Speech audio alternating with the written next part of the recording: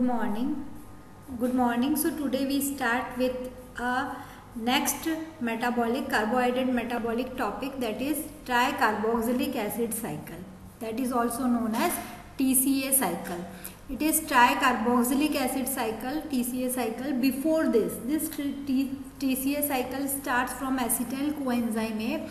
But before that you have to see glycolysis where uh, glucose is oxidized to form pyruvate. Now these pyruvate molecules conver are converted into acetyl coenzyme A.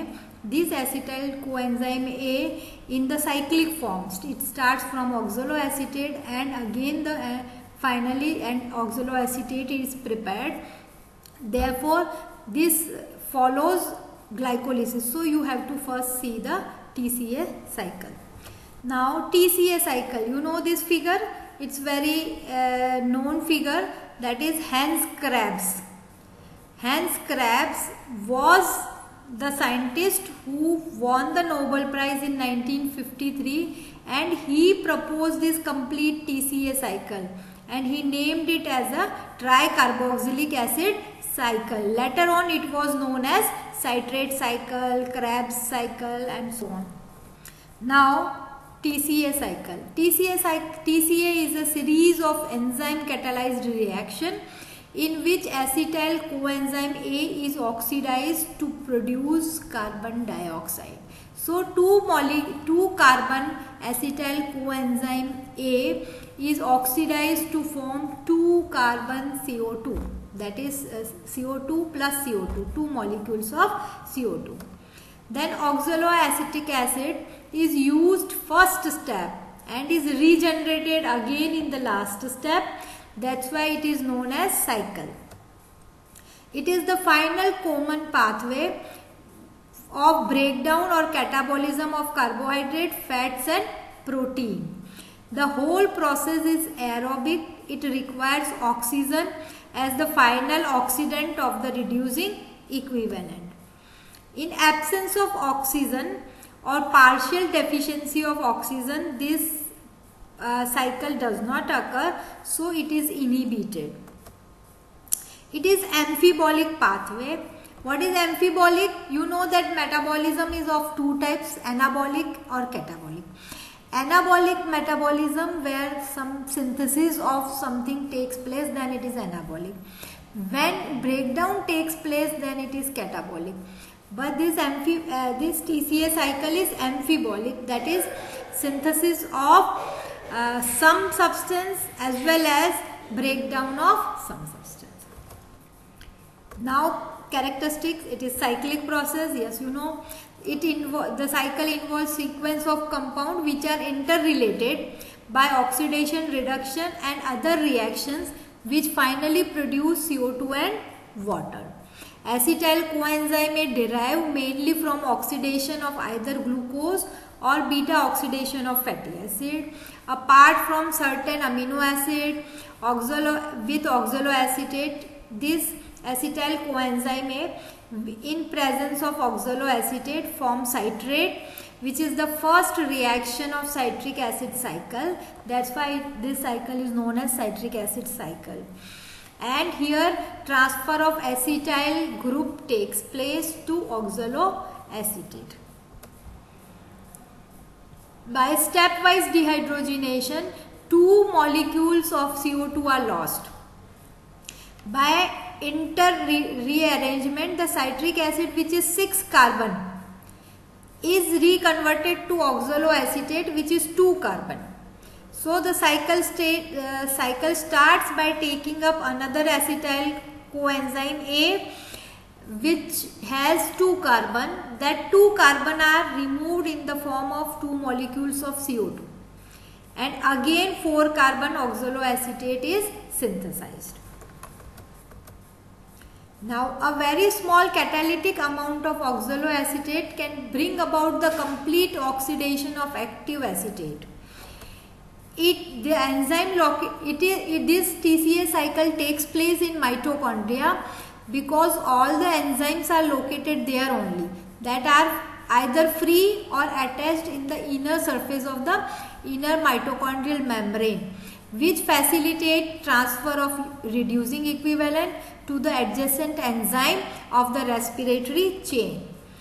The hydrogen atoms removed in the successive hydrogenations are accepted by corresponding coenzymes. Some co coenzymes are also there. Reduced coenzyme transfer their equi reducing equivalent to electron transport chain like NAD, NADH, FADH. These are reducing equivalents. They transfer their the electrons through electron transport chain and ultimately synthesize ATP by oxidative phosphorylation.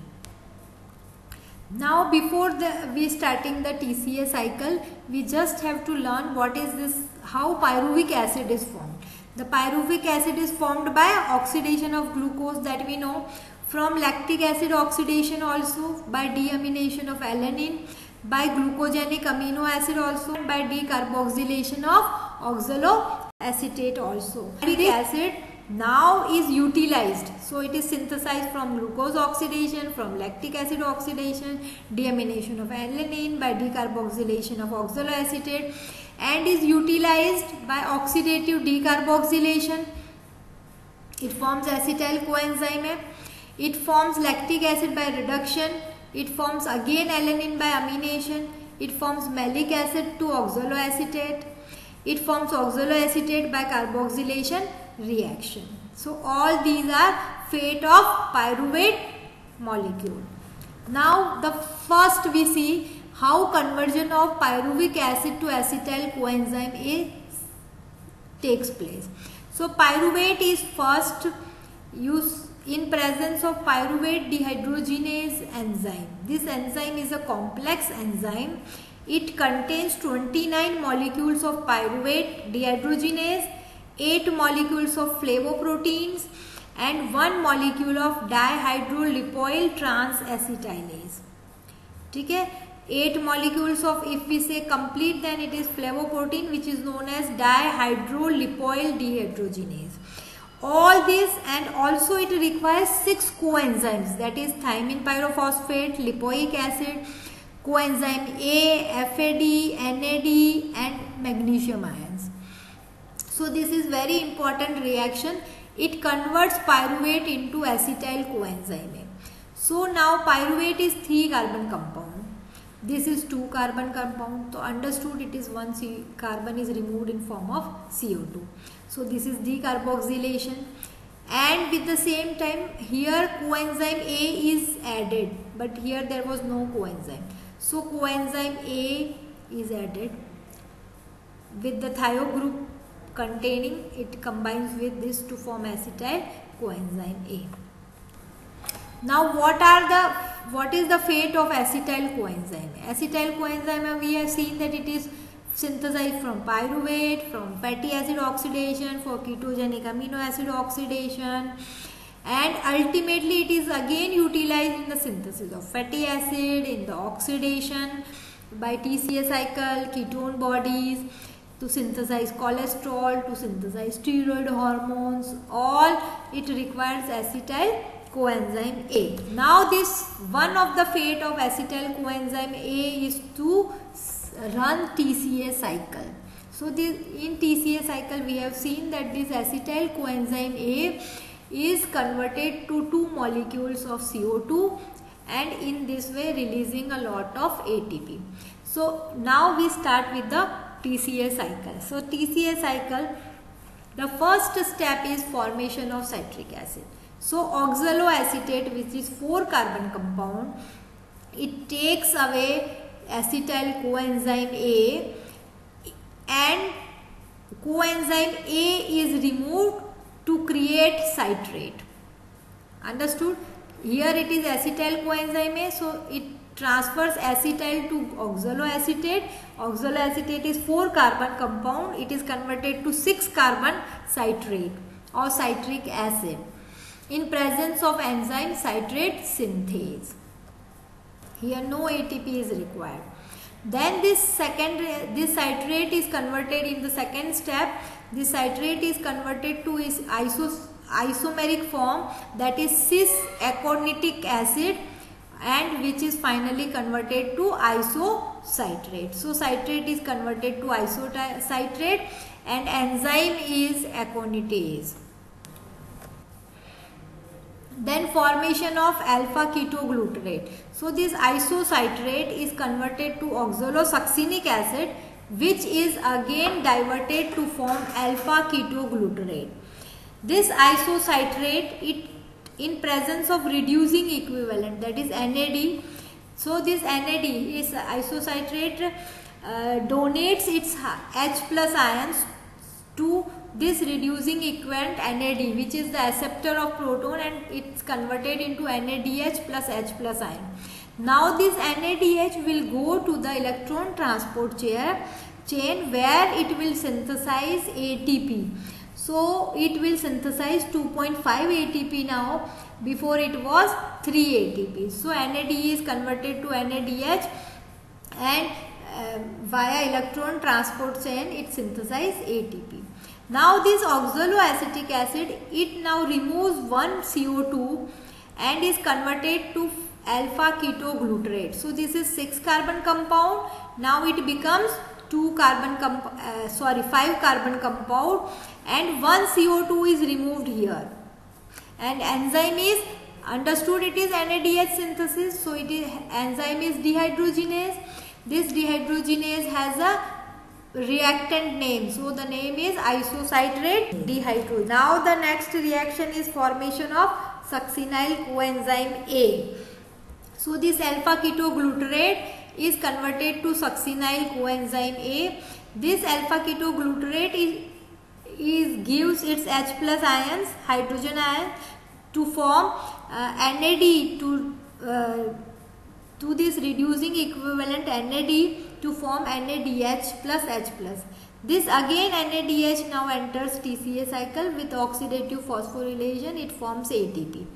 Now enzyme here is again dehydrogenase alpha ketoglutarate dehydrogenase and coenzyme A is entered because now here there is no coenzyme A but here it is there. So it is coenzyme A and this is the second step where CO2 is removed. So two molecules of CO2 are liberated within till the formation of succinyl coenzyme A takes place. So we have seen first it was the synthesis of citrate by acetyl coenzyme and oxaloacetate. Then citrate was converted into isocitrate by aconitate and then isocitrate was converted into alpha keto ketoglutarate and then alpha keto ketoglutarate is now converted to succinyl coenzyme A. Now formation of succinate. This succinyl coenzyme A in presence of GTP, uh, in presence of GTP it is uh, converted to form succinate. This enzyme here is succinate thiokinase where we have already learned that when there is exchange of ATP, GTP, ADP then enzyme is always kinase. But succinyl coenzyme is a thio compound therefore the, the enzyme is succinate thiokinase and it produces GTP which is equivalent to ATP. Then formation of fumarate. Succinate is now converted to fumarate in presence of enzyme succinate dehydrogenase. In presence of enzyme succinate dehydrogenase, this succinate dehydrogenase again it uh, FAD is there which takes the hydrogen from succinate to form fumarate then this FAD is now converted to FADH2. This FAD also enters electron transport chain and via oxidative phosphorylation it produces 2 ATPs. Then fumarate is converted to malate by hydrolysis reaction in presence of water and in presence of fumarase it is converted into malate. Then malate is converted to oxaloacetate and NAD is converted here in oxaloacetate also when malate is malate dehydrogenase enzyme is there which converts this NAD to NADH which enters electron transport chain producing ATP. Then TCA as an amphibolic pathway. Why TCA is known as amphibolic pathway? We have seen that there are some reactions which are anabolic. We have seen that there are some reactions which are catabolic. So anabolic reaction, synthesis of glucose takes place, synthesis of fatty acid, synthesis of non-essential amino acid, synthesis of cholesterol, synthesis of heme from succinyl coenzyme A, acid, synthesis of acid to acetyl coenzyme. These all molecules are synthesized from the intermediates of TCA cycle. Therefore, it is known as anabolic. And catabolic we have seen that uh, acetyl two molecule two carbons of acetyl coenzyme A it breaks into one carbon CO2 and energy is released. Okay. Then this is catabolic reaction, this is anabolic reaction and here we have seen that it is synthesizing non-essential amino acid so we have seen we can see here pyruvate synthesize glycine and alanine serine cysteine threonine hydroxypurin and tryptophan whereas alpha ketoglutarate of TCA cycle produces arginine, histidine, glutamic acid and proline. Fumarate produces phenylalanine, tyrosine, succinyl coenzyme में produce valine methionine and isoleucine in this way this all amino acids are synthesized by the intermediates of T C A cycle now we can completely revise the complete cyclic path you can see we started from this oxaloacetate and after the end of this is oxaloacetate. So first oxaloacetate reacts with acetyl coenzyme A to form citrate. Citrate will form then aconitate. Aconitate will form isocitrate. Isocitrate will form oxalosuccinate which forms alpha ketoglutarate which forms succinyl coenzyme. A then succinate, fumarate, malate and oxaloacetate. We have seen here the NADH are produced. You can see here NADH are produced where in this reaction 1, this reaction 2 and this reaction 3. So 3 NADH are produced which enter TCA cycle to produce 3 ATP before and now latest it is 2.5 ATP. So 2.5 into 3 is 7.5 or it will be easy to calculate with 3. So it is 9 ATP. Then 1 FAD is produced which produces 2 ATP. So 9 plus 2 is 11 and 1 ATP in form of GTP is produced. So it is 12 ATP. So in during single TCA cycle 12 ATPs are produced and we have seen that oxidation of glucose produce 2 pyruvate. So 2 acetyl coenzyme A will produce. So 2 TCA cycle will run then it is 24 ATP. Now regulation. So we see that TCA cycle is regulated by three key enzymes that is citrate synthase, isocitrate dehydrogenase and alpha ketoglutarate dehydrogenase. Then we can see that this reaction when a citrate is synthesized it is inhibited by ATP, NADH, succinyl coenzyme A, fatty acyl coenzyme A derivatives. These all inhibit this uh, step whereas ADP stimulate this conversion. Then we say isocitrate to alpha ketoglutarate that reaction is stimulated by ADP and calcium whereas it is inhibited by NADH and ATP. This also uh, alpha ketoglutarate when converted to succinyl coenzyme then this calcium is stimulating this reaction whereas ATP, GTP, NADH and succinyl coenzyme A will inhibit this reaction. Now you see how regulated it is that high energy state and in low energy state. We see in high energy state when ATP is synthesized and ADP or when ATP is increased, ADP and phosphate will be decreased, oxidative phosphorylation will decrease with this oxidative phosphorylation decrease, oxidation of NADH will reduce and NADH will increase. The ratio of NADH, NAD will increase and TCA cycle activity will be reduced. But in low energy state ATP is reduced will increase ADP and AMP oxidative phosphorylation will increase so NADPH NADH will increase. Ratio also NADH NAD ratio will decrease and so TCA cycle activity will increase. Now biomedical importance of TCA cycle. It is the final common pathway of carbohydrate protein fats though through formation of two carbon unit acetyl coenzyme. Acetyl coenzyme A is oxidized to CO2 and H2O giving out energy or catabolic role. Intermediate of TCA cycle play important role in the synthesis of heme formation, formation of non-essential amino acid, fatty acid synthesis, cholesterol synthesis, steroid synthesis. These are all anabolic role. Then metabolic defects which are related to TCA cycle due to deficiency of this pyruvate dehydrogenase uh, which, which converts what? Pyruvate to acetyl coenzyme A. That, that can cause lactic acidosis and neurological disorders. Acyl coenzyme A dehydrogenase which converts fatty acyl coenzyme A to acyl alpha beta unsaturated fatty acyl coenzyme A which causes aciduria, glutaric acid aciduria, acidosis, hypoglycemia, electron flow from these two diseases affected. Then pyruvate carboxylase which converts pyruvate to oxaloacetate. It is we have we know that oxaloacetate is needed in the TCA cycle to start the TCA cycle. So lac it due to deficiency of this lactic acidosis will occur hyperammonemia and hyperalanemia will also occur. Now role of vitamin and TCA cycle. In TCA cycle we have seen so many vitamins are used. Riboflavin where we have seen FAD is used. Niacin, NAD is used in 3 times that is with isocitrate dehydrogenase, alpha ketoglutarate dehydrogenase and malate dehydrogenase.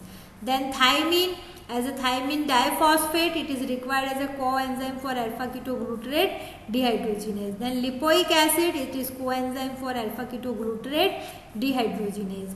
Pantothenic acid, which is a coenzyme and cofactor attached to active carboxylic acid residues such as acetyl coenzyme A and succinyl coenzyme A. This coenzyme A is co-active form of pantothenic acid that is vitamin B5. So thank you very much for listening. I hope you understood. So write your comments. Thank you.